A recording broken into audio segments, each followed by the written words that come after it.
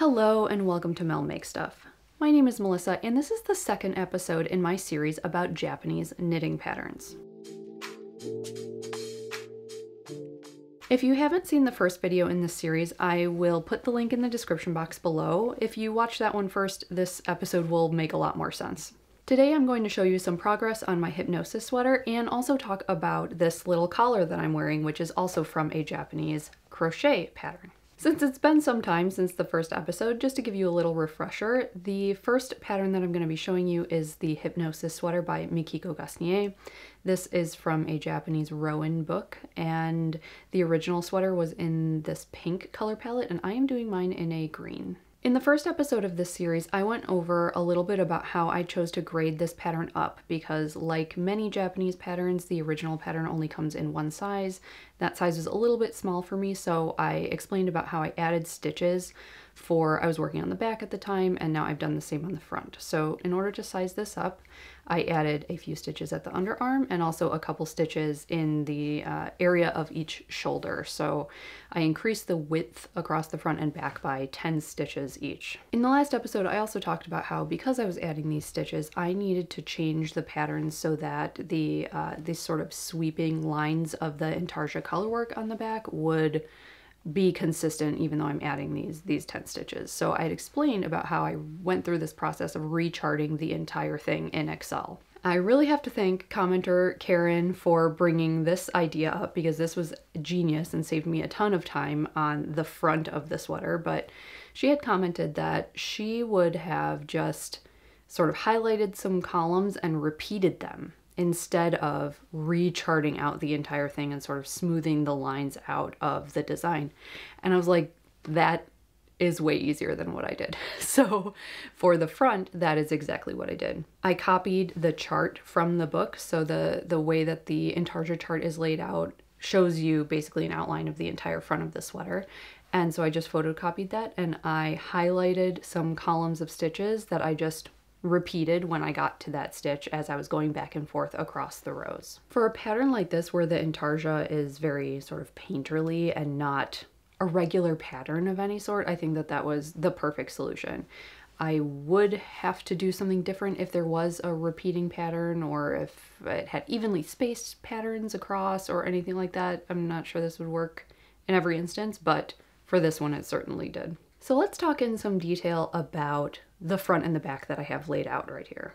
So here you can see the front and back laid out next to each other. So this is the back and you can see that the color work on the back dips down mm, maybe to like mid upper back whereas the color work on the front dips down much further. So it was very interesting to really have two different pieces to knit for front and back. I liked that aspect of the pattern a lot. This pattern only called for four different colors, but we have all of these sort of mid colors being created by holding two strands of different colors together. So you can see here, this is like the army green held together with that acid yellow, and we have the mint held together with the army green, olive green, and so forth. And even once we get up into this light, very light minty green area at the top.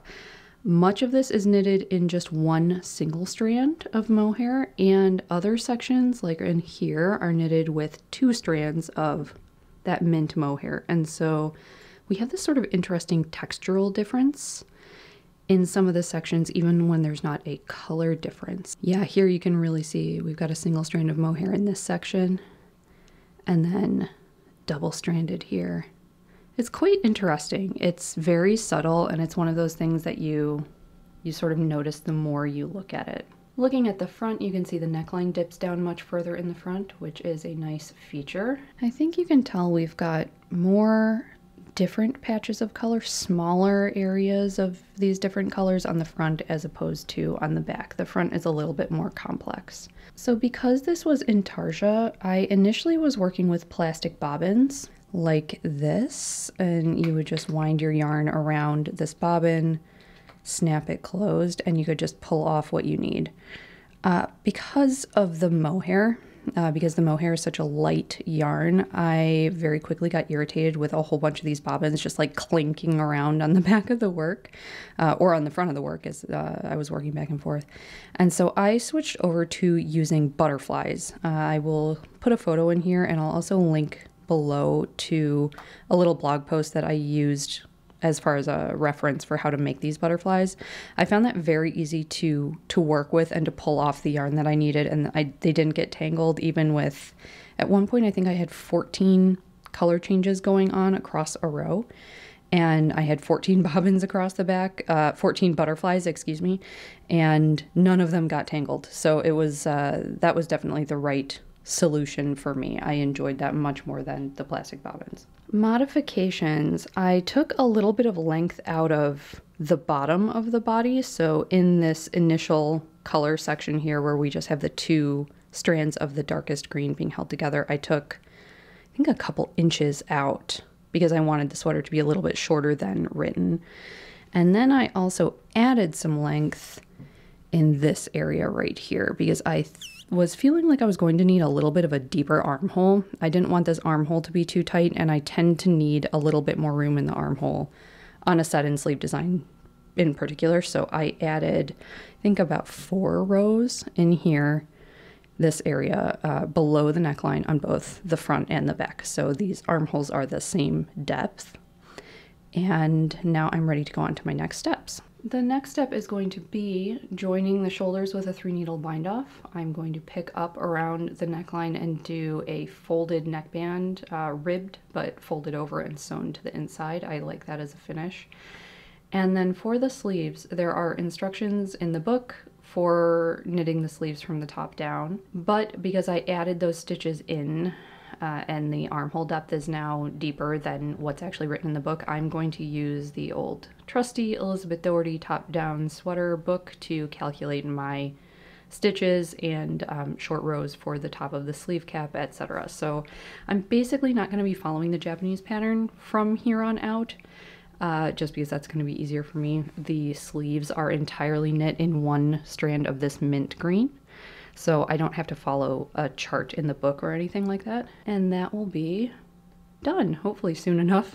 we'll see how long it takes me to knit two uh, single strand mohair sleeves. For needles, I am using some wooden ChiaoGoo interchangeable tips that I just got to go with my regular interchangeable set. I really like these ChiaoGoo wooden needles. You can see they have a nice tip on them, which is not uh, always the case with a wooden needle, but these I really like. Hey, so it's a couple days later and I was editing and realized that I never showed you what the wrong side of this sweater looks like. So I thought that might be sort of interesting to throw in here. As you can see, it's been a couple of days since I filmed the other clips. So I, in that time, have sewn the shoulders using the three needle bind off and I just finished the neck and sewed the live stitches down to the inside. So this is still quite stretchy and I am not worried at all about this being able to go over my head. So let me show you what the wrong side of this intarsia looks like. So this is the inside of the back piece and you can actually see I think a lot better what those design lines are of these these changing colors. You can tell I've just got all of my tails. I'm leaving my tails a little long until I block this and honestly I probably won't go back and cut them off unless they look visible from the front. I can't see them from the front at this point or from the from the right side of the fabric, the public side. So I will likely just leave them around, I don't know, an inch long or so. And then here is the inside of the front. So you can see there were many more, many more little small patches of color here. It's much more obvious now that you can see the tails. And these textural differences are also a lot more obvious on the wrong side. You can see these areas where there were two strands of the same color mohair held together versus these areas with just one strand of mohair alone. So there you go. So now let's talk about what I am wearing. This is a crochet collar pattern out of this book. I will put the ISBN numbers of any books that I'm showing down below.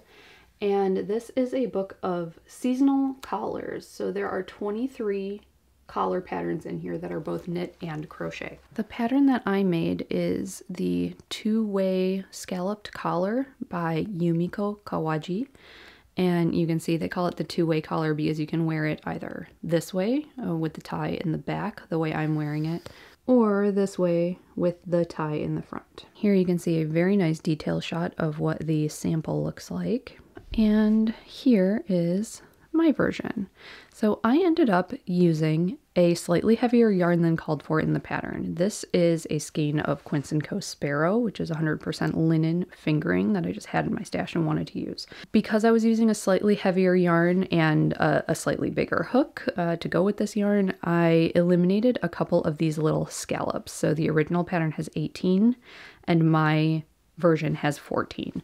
I think it turned out okay. Let me show you the bag. I'm happy with how it looks and I, I don't feel like there are too few or too many scallops. Uh, it was really sort of a judgment that I made and got lucky with when I was, um, do they call it casting on in crochet? I don't crochet all that often, so I'm not sure of all the terms, but when I was um, doing my initial chain around the neck, you start at the neck and work down for this collar, I just sort of cast on the number that looked right and made sure it was divisible by the the wedge of the pattern repeat and just went with it and and lucked out. So as you can imagine being in a japanese pattern book this crochet pattern is also entirely in japanese. And as far as reading the pattern itself all of these patterns in this book at least are entirely charted. And i found the chart symbols to be very intuitive even as somebody who doesn't crochet all that often and there are also sections of the book where it shows you very clearly with like drawn pictures what each stitch symbol means. If you are a crocheter and you have worked from charted patterns before, I would say you will probably not have any issues at all working from a Japanese crochet pattern that's charted as well. So while the charts are laid out in a very similar way to an English pattern that you might be familiar with that's also charted, like other Japanese patterns, these crochet patterns in this book also have a diagram laid out that indicates the direction that you're working with arrows, similar to the knitting patterns that we talked about in the last episode. And that diagram will also give you stitch counts, it will give you measurements. Um, it, it's really just absolutely full of information. It's a fantastic way, in my opinion, to write crochet patterns. I had, again, no issues reading from this. So I'm very excited to try more Japanese crochet patterns because there are tons of them that are just fantastic. While we're talking about this book, I thought that we could look through it as a nice representative example of what you might expect from a typical Japanese pattern book. The Rowan book that I'm knitting that other sweater from is a little bit more stylized than you tend to see in, in most Japanese pattern books, and so it's not a great example, but this one is an excellent example. So let me show you what I mean. These books will tend to be laid out in four major sections. The first one, quite similar to many pattern books that you're already familiar with, will be photographs of all of the designs. The way that designs are photographed in most Japanese pattern books is extremely clear which is not something that we get in a lot of English books, as we all know. So as an example, this book gives a lot of flat lays, which are very nice. You can see the full shape of the collar, and then it will also show it modeled. Same thing here and here. So this book is photographed very nicely. I just really appreciate this style of photography. It's very easy to see what the finished item is supposed to look like, and they will usually show at least one modeled view. So that's similar to what you might already be familiar with as far as photos and views and that type of thing. The thing that I think is truly fantastic about the majority of Japanese pattern books of this type that I've looked at is that they have a page where they show you what all of the yarns used in the book actually look like on their own. So sometimes the layout will be quite cutesy like this. You can see bows uh, of each of the yarns used and they're all lettered so you can see uh, the details about the yarn. You can always use your Google Translate app to, to look at these details. And I love this because you can just see what the textures are of the yarn. You can see whether it's fuzzy, you can see whether, you know, some uh, Japanese intarsia books will use, you know, strange sort of boucle yarn that we don't have access to if we're not in Japan, right? Or not not easy access. And so it really helps to see what this yarn actually looks like so that we can substitute if we need to. This is probably my favorite thing about Japanese pattern books. Honestly, I find this so useful. I wish that other pattern books would do this as well. Then we have the pattern section and um, as you can see, there will be very clear charts. Many of these patterns are crochet. We do have some knitted charts as well. And then the last section of the book will show you all of the stitch symbols in these drawn out instructions. So even if you don't speak Japanese and you don't want to use Google Translate for whatever reason, you can just look at the symbol and look at what it's showing you that you need to do. And so this is how all of the um, symbols are written out in the back of the book, which I also really like. So for the last part of this episode, I want to do a little bit of show and tell because I recently went to Japan and I did buy some knitting related things and I'm going to show you some of it and some of it you'll see throughout the course of upcoming episodes. So we went on this trip with a number of members of my family and so my sister and her family went and my sister is also a knitter. So of course we were excited to go to various knitting shops in the towns that we were staying in. The first knitting shop that we went to was Walnut in Tokyo. So this is Amirisu's store in Tokyo and we ended up going to the original one which is in Kyoto as well because it happened to be quite close to where we were staying. It wasn't planned, but we we hit up both of them. As an initial foray into like a Japanese yarn shop, uh, they had a fantastic selection of North American and European yarns. it was um it was sort of funny to see like they had a way better selection of uh Brooklyn tweed and that type of thing than I can find in my local yarn shops here. There were a lot of Jamieson's type yarns, um, a lot of De Rerum Natura, stuff like that. And then they also had some Daruma yarns and some of Amirisu's house dyed like superwash merino sock yarn and that type of thing. They were extremely nice stores and if I lived in either Tokyo or Kyoto I'm sure that I would be there all the time. But as a tourist, I was looking for something a little more of a, a, Japanese souvenir, and so they didn't have exactly what I was looking for. One thing that I did buy at Walnut was some sashiko fabric. They had this really cool colored yellow sashiko fabric, and so I, I sort of got a vision of doing a piece of stitching with some dark navy thread. So I managed to get the thread at a, a local notion shop that we just happened to walk by on the street. It was like a, a haberdashery type. In Kyoto, we went to Avril Pepin, which was an experience. I would have loved to be able to go back. We ended up getting there right as they were closing for the new year. So that was like, we lucked out with happening to go there right at that time because they were going to be closed for some days right after we went. And so they sell yarn by the gram. I think they sell it in 10 gram increments and they just have a wall of cones. And most of this yarn is like strange textured, boucle, sparkly, like they have all kinds of sort of novelty yarns. And then they come up with their own patterns and kits to use these yarns and like hold different yarns together. And it's extremely creatively inspiring to be in this shop. They sold some kits and they sold some like small sample packs of the yarn and that type of thing. I did get one sweater kit from there and I also got a variety of these novelty yarns because I sort of had a vision when I was in there of using them in a colorwork yoke. Not all of them together, but maybe one here or there just to add a little texture. And I'm still thinking about that idea, but I got a small selection that I can experiment with. Before I left on this trip, the one thing that I wanted to get for myself on the trip was an interchangeable set of Japanese sized needles. I may have mentioned this in the first episode of this series, but Japanese patterns tend to be written for Japanese needle sizes. And some of those sizes align with the millimeter sizing uh, that we're all used to, but some of them are in between. And it's not like I need these needles in order to be able to get gauge. I can just work with what I have to get gauge, but this was the the souvenir that I wanted for myself from the trip was to find an interchangeable set of Japanese needles. This was incredibly hard for some reason. Uh, most of the shops that I was going to either didn't have Japanese needle sizes at all or they would have you know, a couple of different sizes of circular, fixed circular needles. I was not seeing interchangeable sets anywhere. Until on the very last night we were there, my sister and I were meandering around. Everybody else in our group, we were traveling with a group of eight, so it was a large group of people. And Everybody else was exhausted by this point, but she and I were still going strong. So we had gone and we're just walking around and came across a place called Nomura Tailor.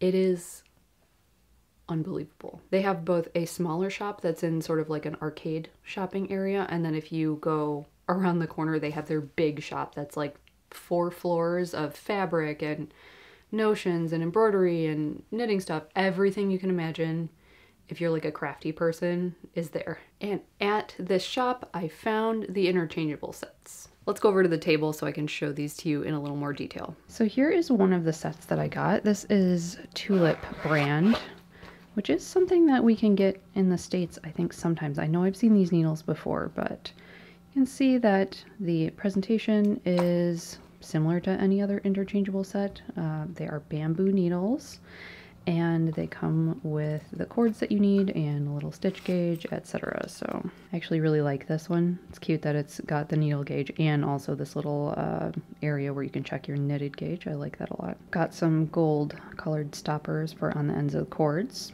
Here are what the cords look like. You can see they do have a little bit of memory in them, but it doesn't seem super terrible. I think if there were stitches on these cords, I wouldn't be bothered by the amount of curling that's going on here. So they seem relatively standard as far as the cords go. Here you can get a sense of the tips of these needles. I would say they're maybe slightly on the sharper side uh, of average. And they have the sizes printed on them. So both the Japanese size, which is uh, just a number, number four, five, six, etc., and the equivalent millimeter size. So just on this side, I see 3.3 millimeter, 3.6, 3.9, 4.2, 4.5, 4.8, and 5.1. And then we've got some of the larger sizes up here. And then this is the smaller sized kit. And this one comes with 2.1 millimeter, 2.4, 2.7, and 3 millimeters. And then the other thing I got is also a set of Japanese crochet hooks. You can see they came with this little cloth carrying case. There's some notions and needles and stuff in here, a little ruler, and let me just pull these out. So here you can see these are also Tulip brand. The Japanese sizing is on the left and then the equivalent millimeter sizing is on the right. These seem to line up a little bit more with what I'm used to as far as crochet hook sizes. I do see uh, 1.8 millimeter, 2.2 millimeter, which is a little unusual. 3 millimeter we can't always get here. Uh, tends to be more available in Europe. But um, I thought that this was also a nice souvenir gift for myself. And you know me, I had to get a couple of Japanese pattern books. This one is Amimono no to, uh, Knitting notebook. I got it because of this cover sweater. Just look at that. Lovely. So I definitely want to make this at some point in my life. This book also shows some of the designer's notes and swatches, which you don't always get, but I really like that. So this is a yoke sweater that's in here. That is this pattern. And I really like that the designer has shown the types of yarn here. So the body and the main contrast colors you can see are knitted in uh, felted tweed. And then all of those contrast colors in the yoke are Kidsilk Haze. So that's quite interesting to have that textural difference, which is not something I would have known just from looking at the sweater, but I bet it's more obvious in person and probably softens the color work a little bit to be using that mohair. I wonder if it's double stranded for the contrast colors. I I'll have to look into that. But it's a beautiful book. Love this one. This one is called Matatabi Nito. Matatabi Knit. Yeah, there we go. Mariko Mikuni. It's listed in English on the cover. And I thought that this was very interesting sweater. Uh, there's a lot of interesting designs in here. This is one that's sort of more conceptual you can see the photographs are a little bit more like the Rowan book, a little bit less just straightforward, uh, a little more stylized. Here, this model is wearing an entirely knitted outfit, knitted pants. The pattern for these uh, is in here. I'm probably not going to make them, but hey, you never know. This one, I think, is the sweater I am most likely to make, which is, it's just a plain sweater, but it's got this surface textural embroidery, which I find really interesting. I also really liked this one and could see making this. This is a uh, dolman sleeved uh, colorwork cardigan. So for this one, even though it does have those overly stylized photos in the front, it does give you this section where, again, things are shown very clearly, and I definitely appreciate this. Uh, you can see the very sort of kitschy, honestly, embroidery on this sweater, but I really like something about this. I don't know. It's, uh, I find it interesting. And then this is the third book I got, Daruma Pattern Book number six. This sweater is very beautiful. I love the texture on this. I think I saw somebody wearing this exact one. And then this is the one that I really like. There was uh, one of the people working in Avril Pepin had this sweater on.